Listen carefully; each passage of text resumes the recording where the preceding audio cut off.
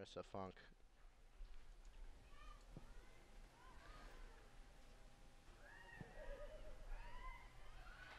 Dangerous move.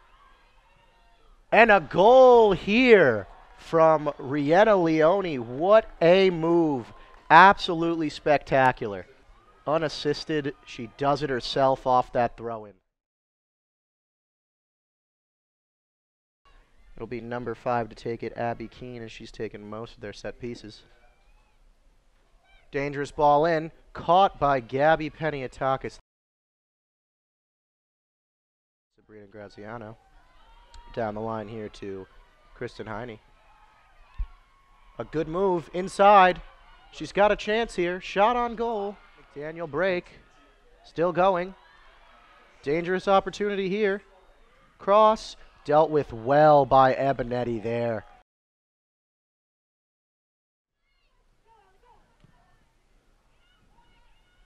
No clean possession yet so far. Ball over the top here for the Diplomats. And a dangerous opportunity.